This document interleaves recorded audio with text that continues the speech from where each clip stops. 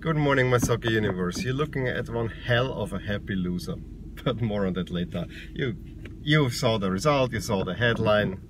Ajax is back. but uh, before we get to the Real Madrid Ajax game that everyone is talking about, um, I want to first, uh, very quickly, Dortmund Tottenham, which, yeah, uh, story is quickly told. First half, Dortmund knows they have to uh, make up a 3-0 deficit, chance after chance after chance after chance, but nothing. I mean, it was well played. They just, as Dortmund has been lately, they're not taking their chances. Or, you know, from what I saw in the highlights, yes, there were chances, and yes, there were shots on goal, and yes, uh, Lloris had to make some saves but there were not all that many of them where I said this is now 100% uh, real goal scoring opportunity, but maybe that's the point of the whole thing. Right after halftime, uh, I think Sissoko played a quick ball to Harry Kane, who has a, a, clear path on goal and buries it, and that kills the tie. Uh, was not much more happening. Dortmund didn't even get the equalizer. That probably they would have deserved, to be fair, but you know. Tottenham wins two games against Dortmund. And remember, uh, a month back, two months back, when Harry Kane got injured, we all we were talk, talking about, oh, how this tie is uh, shifting in Dortmund's favor. And then suddenly uh, it's the opposite, that Dortmund is regressing and yeah, Tottenham was also not great. But you know, you get Harry Kane back. And that's that. But enough of that. So Dortmund, Dortmund is the first uh, team qualified for the next uh, phase. Tottenham. Let me just. And the other one is a big surprise. Uh, what did I say after the first game uh, between Real Madrid and Ajax in Amsterdam? Ajax would have deserved more. They had clear chances in the first half, and right when you know, with the first path where Real Madrid is actually a little bit getting uh, better control, they make the goal, Ajax gets the equalizer and then Real Madrid gets the winner. Um, a game that Ajax didn't deserve to lose, for sure. Uh, probably they wouldn't even deserve to draw. This time around, and now we get to the happy loser part. Um, I thought this was such a routine performance by Real Madrid. Yes, Sergio Ramos got suspended, uh, got his suspension um, and couldn't play. But I really thought, you know, 2-1 away. Yes, Real Madrid had a tough a string of results, no doubt about that. Uh, but then on the other hand, against Barcelona, they didn't play all that bad if you look at it. I think, especially in the cup tie, they were well in, in the game. The 3-0 was not uh, reflecting how things um, are between those two teams. So I really thought lucky win, even may, maybe even draw. I, honestly, I didn't give Ajax much of a chance and that's why I decided I'm not gonna watch the game. Um, I had a slide, but you know, I put the girls to bed at 8 o'clock and unfortunately my little one is not feeling all that well. That makes me, yeah, that kind of tempers my happiness about yesterday's result. I didn't watch it. I decided, okay, I'm not gonna watch it. I might watch uh, Porto Roma tonight not 100%. I just need to get more sleep. Um, and however it is, I mean, these days I was not tossing and turning as much, but you know, I woke up way early because I wanted to see the result, uh, the results and how things will go. So at yeah, quarter to six, I watched the highlights and boy, I also have to say, um, I really, really enjoy Ajax. But I said, well, the worst case scenario, at least for um, when I look at it all over, is a narrow Ajax win. that doesn't advance them because that would put Austria in trouble. I mean, any Ajax win would put Austria in trouble for the 11th spot and the fixed Champions League spot. But then, you know, I watched and yeah, Varane hit the post very early on. Uh, that could have in, but then Tadic, who had an amazing game, uh, puts a nice ball through Ziyech and he rounds and lobs it in a really, really nicely taken goal, make it 1-0 for Ajax in the seventh minute. And then Ajax is not having possession, but still dominating, and dominating quite some, honestly. Uh, really offensive-minded uh, soccer at its finest. Nice moves forward, really uh, I don't want to say dominating Real Madrid, but having chance after chance that you think uh, they could have really decided the game very, very, very early on. Um, they get the second goal. Again, Tadic. Spinorama plays a pass to Neres, who puts it in, into the net, making 2 Real Madrid. Uh, 2 0 Ajax. And at that moment, you're thinking, okay, this might go somewhere. Um, of course, Real Madrid tried, but didn't seem very coher coherent. Uh, big chance was Bale hitting the post again. So there are two posts for Real Madrid, and I think if any one of those go in, uh, it this is where the game might, might, might have turned, but it, overall it would not have been deserved. Ajax was the better team. The other thing is that Vinicius Junior, they really the only shining light as of late for Real Madrid injured himself after getting a chance. And I think the one thing with Vinicius Junior, I said it before, um, as great as a player going forward he is, he cannot make goals. I mean, it's to me this is un unbelievable the chances he is missing. There is still something missing. He might be the greatest assist provider uh, in the world, but I think you, in the end, you gotta make goals sooner or later You gotta say it like that.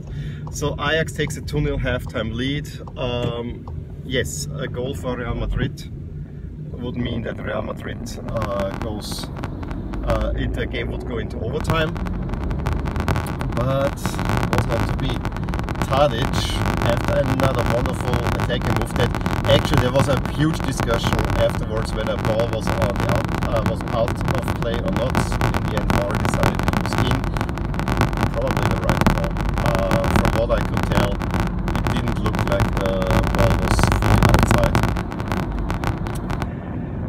And so, yeah, um, the move over Van de Beek, putting it to Tadic, who buries it in net from far out. Tadic had a game for the ages. Absolute stunning goal.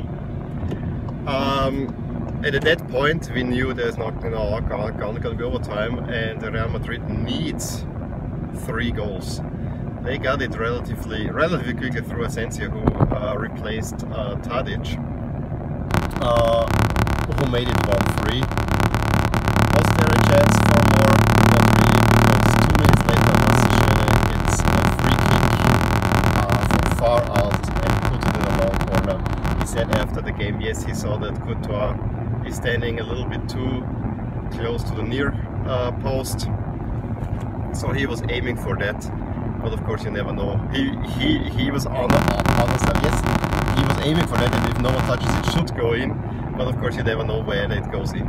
It went in 4-1 Ajax their first away win in the knockout stages of the Champions League since 97 when they won 3-2 in overtime at Atletico Madrid I actually remember that one uh, quite well. That was a great game. But this was the Ajax that was a sinking ship. Now, is this a rising Ajax? I don't know. I am person. I personally fear that this is again Ajax will maybe maybe if the draw is right, uh, they could even make it to the um, semi-final. I just think that a lot of players will move on to bigger leagues. And yes, this is the Ajax model at the moment. Uh, maybe even the coach, you know, we're looking at a few teams uh, that might need a good coach. Maybe he will go there. I don't think this will be successful. I mean, you gotta say that Ajax uh, this decade had actually kind of revamped itself and was dominant already. And this is just the best iteration of it. Uh, but it will be hard to sustain it. That's my fear and that's what makes me sad. Because I would wish nothing more that this team stays together. Maybe uh, can really develop something. But ain't gonna happen. Ain't gonna happen.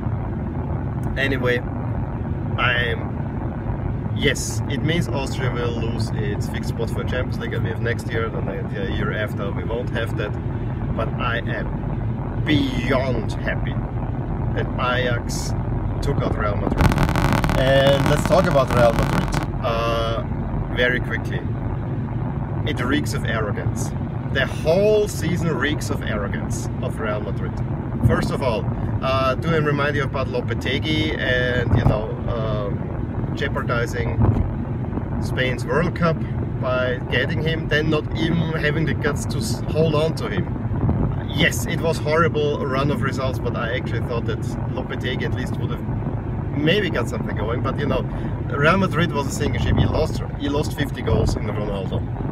Uh, and you didn't really make up for that. And then if the likes of Bale and so on do not show up, um, that's one thing.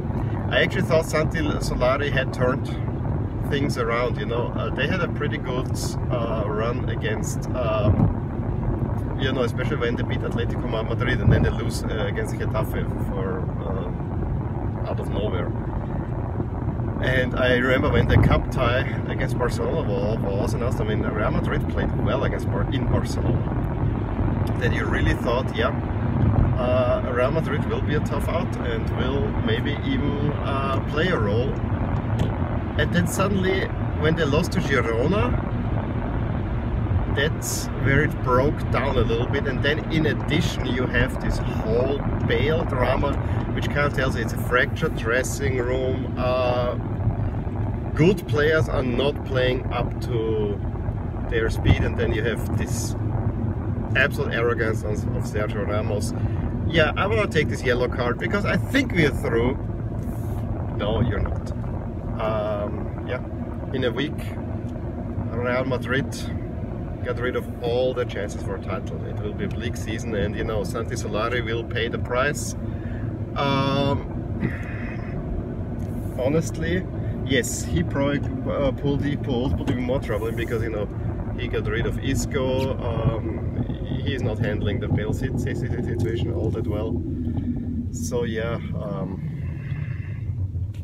maybe that's something to look at. On the other side, he brought in Vinicius Junior. He brought in players from the youth, and he kind of revamping Real Madrid.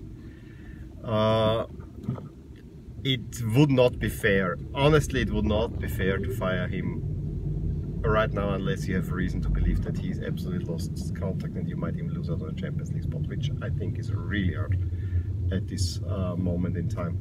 Uh, a, it is not his team. He did not build this team. He did not do anything with it.